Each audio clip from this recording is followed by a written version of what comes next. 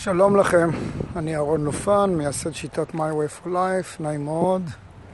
טיפ קצר בלמגנט את הדברים שאנחנו רוצים בחיים שלנו.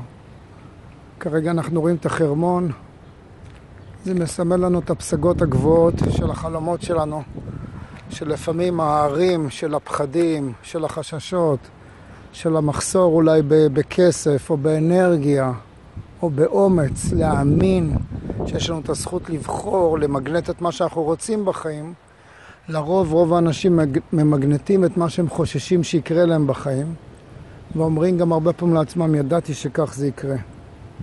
אבל אם תקומו כל יום עם חלום, ותזכרו שהעולם הזה לא בא אולי בשביל להמחיש לכם או להגיש לכם בכל שנייה את מה שאתם רוצים, זה נקרא דרך.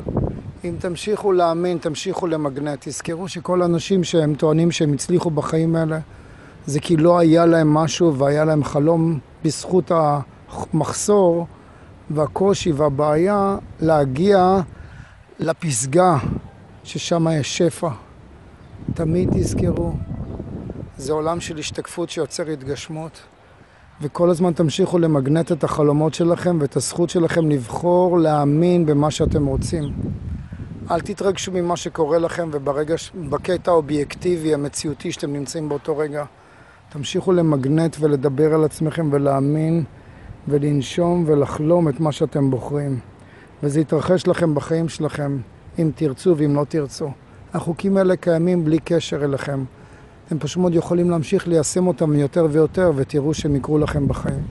כמעט לכל אחד ואחת מכם זה כבר קרה הרבה פעמים בחיים.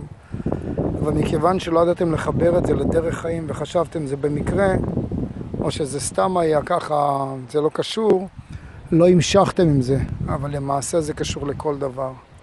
אז אל תשנו את החוקיות של העולם ותמשיכו למגנט את מה שאתם רוצים בחיים. שיהיה לנו יום נפלא וחיים מדהימים. תודה רבה.